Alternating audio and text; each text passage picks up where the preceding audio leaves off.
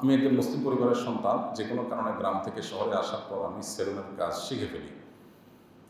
এখন শুনতেছি সেলুনে দাড়ি কাটার কাজ করা হারাম। এটা কতটুকু সত্য? আর যদি হারাম হয়েও থাকে, সুদ গুড় জেনা, ব্যবচার ইত্যাদি, বড় বড় কবিরা গুনাহের মতো হারাম কিনা?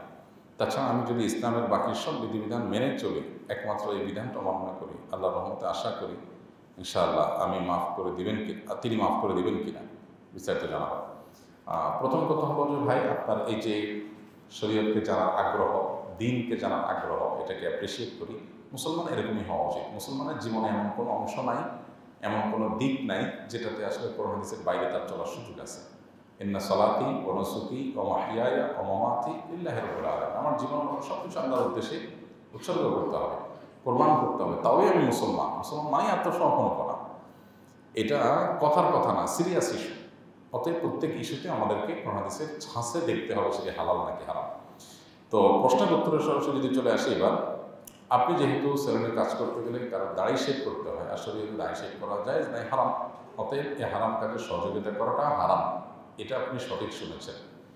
তবে সুদ, ঘুষ, জেনা, ব্যবসা, এগুলোর যে হারামের ভয়াবহতা বা মাত্রা, এটা সেই লেভেলের হারাম না। হারামের মধ্যে মাত্রা আছে। সব হারাম এক পর্যায়ে না। এগুলো তার চাইতে লঘু হারাম, কিন্তু এগুলোও হারাম। এটাও হারাম, যেহেতু একটা ওয়াজিব তরফ হয়, সেজন্য এটাও নিষেধ কাজ। এর ফলে আপনার সকল উপার্জন হারাম হয়ে যাবে। আপনি চুল কাটছেন, অন্য অন্য কাজ করছেন, সেগুলো হারাম না। এটুকু উপার্জন আপনার জায়েজ হবে না। এটার জন্য সবচেয়ে ভালো হয় সৎ সাহস করা। আল্লাহ যাকে হেদায়তের বুঝ দিয়েছেন, তিনি যদি বলেন যে আমি দায় শেভ করব না আমার সরি আমি এটা করব না। অন্য সব সার্ভিস আমি দেবো। করতে পারেন তিনি।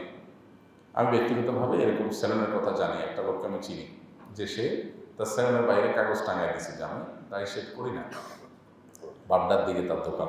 আলহামদুলিল্লাহ, সে না খেয়ে মরে যায়নি সৎ সাহস করতে হয়, হিম্মত করতে হয়। তখন দেখা যাবে সব নেককার মানুষগুলো ওখানে চুল কাটতে গেছে। সেটা দিয়ে আপনার আল্লাহ তালা রিজিক ব্যবস্থা করবেন ইনশাআল্লাহ। সৎ সাহস থাকা দরকার। বাকি কথা হলো যে, এর কারণে আপনি অন্যান্য যে গুণা ভালো কাজ করছেন, সেগুলো হারাম হয়ে যাবে না। আপনার জন্য বিকল্প হলো প্রথমত ওই যে সৎ সাহস করা যে আমি হারাম কাজটা করব না। আর আরেকটা বিকল্প হতে পারে যে অন্য ধর্মাবলম্বী কেউ যার হালাল হারাম নেই, সে করল, আপনি করলেন না। কিন্তু এটার চাইতে বেটার হলো প্রথম অপশনে চলে যাওয়া।